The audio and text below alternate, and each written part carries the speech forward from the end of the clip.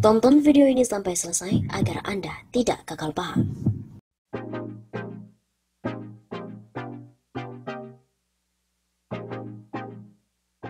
Bisa jadi Jokowi akan menghadapi tiga gelombang aksi. Kasus pencarian kesalahan HRS dengan target penahanan dan proses peradilan akan menciptakan gelombang aksi dari FPI, masa 212 dan juga pendukung HRS lainnya. Aksi massa akan datang pada setiap sesi proses, mulai kepolisian, kejaksaan sampai dengan pengadilan. Berita aksi memenuhi media dalam dan juga luar negeri. Isu pensoliman pun juga mengemuka sejalan dengan militansi tinggi peserta aksi. Keriuhan pun tercipta. Gelombang aksi kedua adalah buruh yang belum puas dengan pengundangan Omnibus Law. Agenda aksi pun juga akan terus berkelanjutan. Kerugian pada penciptaan stabilitas politik dan perusahaan yang terdampak akibat seringnya aksi. Produksi pun akan jeblok pada banyak perusahaan. Dampaknya pengusaha bisa gulung tikar atau turut menekan pembatalan Omnibus Law yang dinilai telah membuat sial tersebut.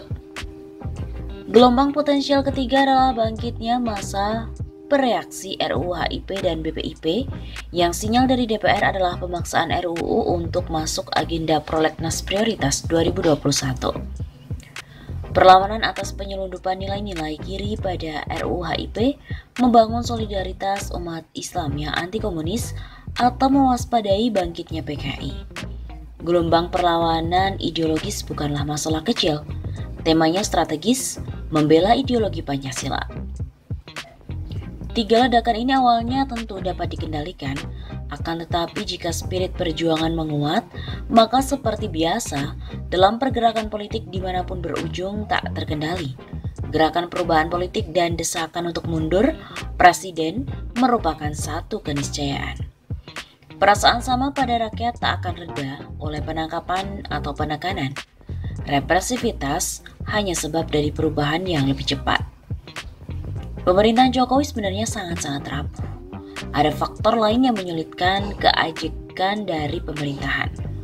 Kondisi keuangan negara yang semakin ambiar, rakyat yang jenuh dengan kebijakan penanganan pandemi COVID-19 yang tidak konsisten dan tak jelas arah, serta konflik global Amerika Serikat Cina yang diundang untuk hadir meramaikan dinamika politik domestik.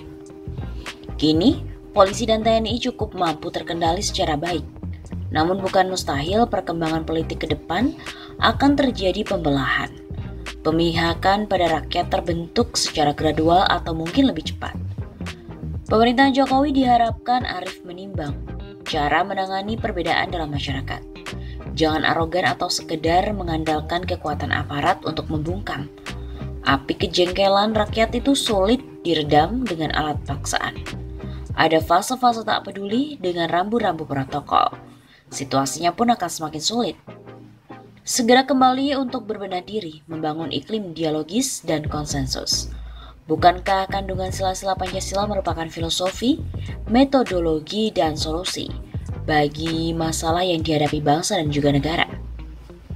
Jokowi tentu menyadari bahwa dirinya adalah figur yang tidak hebat-hebat amat, karena perlu antisipasi atas kekuatan rakyat yang dipastikan amat-amat hebat.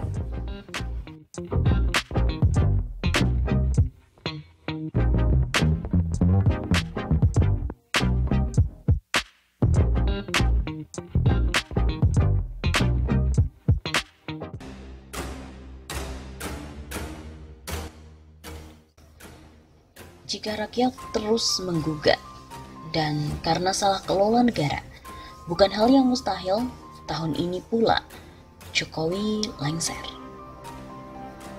Pemerintah tengah mengkambing hitamkan wabah corona atas semua kegagalan pertumbuhan ekonomi di tanah air. Menteri Keuangan Sri Mulyani bahkan berkilah bahwa pertumbuhan ekonomi Indonesia bisa anjlok ke angka 4,7 persen gara-gara dampak virus corona yang juga menggerogoti perekonomian Cina. Bahkan prediksi Sandiaga Uno lebih parah. Menurutnya pertumbuhan ekonomi bisa anjlok ke 4,3 persen levelnya. Tergantung perkembangan dari corona. Dan jika prediksi Sandiaga benar, maka tahun 2020 akan menjadi level pertumbuhan ekonomi terendah sejak 18 tahun terakhir. Meskipun begitu, perlu dipahami bahwa jauh sebelum wabah corona, pertumbuhan ekonomi Indonesia memang sudah nyungsep gara-gara salah kelola. Sehingga banyak ekonomi yang mengibaratkan bahwa kondisi ekonomi Indonesia saat ini selayaknya gelembung yang terus menggelembung dan rentan untuk meledak. Gelembung itu terbentuk akibat situasi makroekonomi yang gagal bayar, daya beli digital bis dan juga nasib para petani. Gelembung ini bisa meletus karena tidak mendapatkan dukungan fundamental yang kuat. Muaranya, krisis hebat bisa kembali menghantam Indonesia. Di sisi lain, beban hidup masyarakat semakin berat. Hal ini disebabkan oleh meraketnya harga kebutuhan pokok, kenaikan dan juga perluasan objek pajak, hingga kenaikan berbagai iuran. Tragisnya pendapatan masyarakat malah justru stagnan. Muaranya pun daya beli masyarakat makin nyungsep. Pemerintah cuma bisa memberikan janji-janji untuk menenangkan publik. Faktanya, janji itu tidak terrealisasi akibat defisit sumber daya pemerintah dan juga salah kelola kebijakan. Publik pun melawan. Dulu kita pikir gerakan rakyat itu sudah lumpuh tapi aksi penolakan RUU KPK tempo hari yang mengguncang kota-kota besar di seantero Indonesia membuat pemerintah justru tercengang. Sejak Jokowi dan Mbak Arfa dilantik, setiap hari netizen kompak mengkritik pemerintah.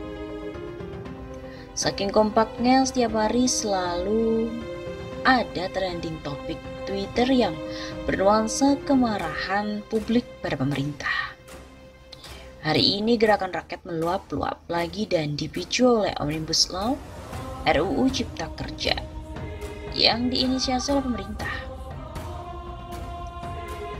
Kalau mau jujur, pemerintahan Jokowi hari ini sudah ibarat smartphone buatan Cina yang selalu mendownload aplikasi, yaitu janji untuk menenangkan rakyat, padahal kapasitas atau memori dan juga baterainya tidak mencukupi.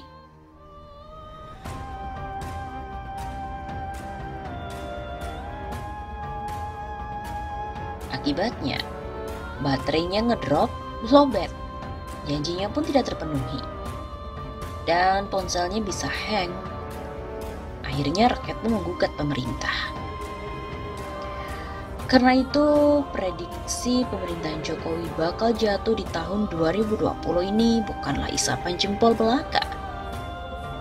Pasalnya, tantangan pemerintah di hari-hari ke depan justru semakin berat. Naasnya, sumber daya pemerintah justru semakin susut.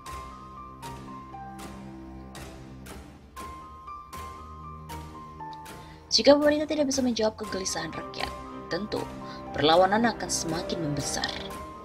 Tidak mustahil, kegelisahan rakyat bisa bergeser dari kekecewaan terhadap kebijakan menjadi ketidakpercayaan pada pemerintah. Hilirnya adalah keinginan untuk mengganti pemerintahan. Kegelisahan rakyat ini bukan omong kosong. Tahun lalu Morales menjadi kepala pemerintah kelima yang jatuh Sebelumnya ada Presiden Jovenel Moise di Haiti, Presiden Al-Bashir di Sudan dan juga Perdana Menteri saat Hariri di Lebanon. Di Aljazair, Perdana Menteri Ahmed Ouyahia dan Presiden Abdel Aziz Bouteflika serempak mundur. Presiden Argentina Mauricio Macri gagal terpilih kembali. Lalu bagaimana dengan Indonesia?